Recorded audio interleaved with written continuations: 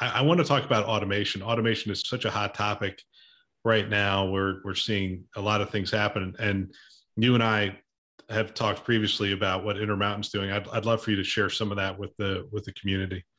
Yeah, I, I, think we have a good automation story. We, we certainly weren't the first healthcare organization to, to take a deep dive into automation, but I'd like to think of us as a fast follower, meaning we got on the bandwagon several years ago. We actually have lots of efforts underway and are maturing our automation capabilities day by day. And this time of our caregivers and employees just feeling immense pressures and stress, many of which are a result of the pandemic, obviously we're trying to target a number of areas where we can automate the types of mundane, routine, just not fun work that, that our employees find tedious to, to really kind of help the work on higher value opportunities. And internally, a lot of times we, we kind of refer to it as letting our caregivers work top of license and having to shed a lot of those lower level mundane tasks that, that we ask them to historically do. So we started our robotic process automation efforts well over two years ago and really took what I refer to as a crawl, walk, run evolutionary mindset.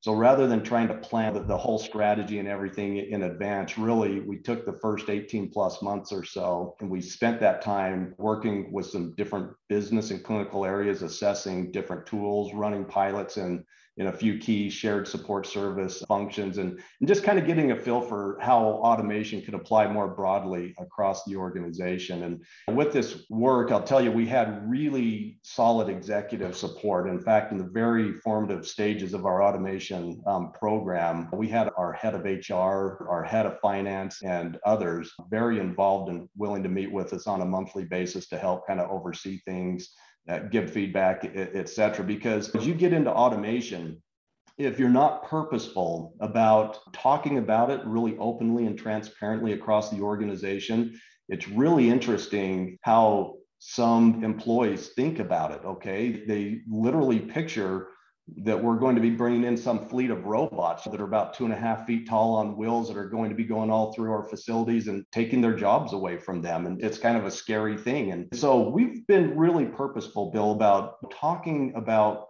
robotic process automation and, and intelligent automation more in terms of how can we really let people find more joy in their work and doing and focusing their time and effort on the things that, that really do matter and bring value and, and let's let these digital workers or bots behind the scenes increasingly do just the, the unfun, repetitive, mundane kinds of things.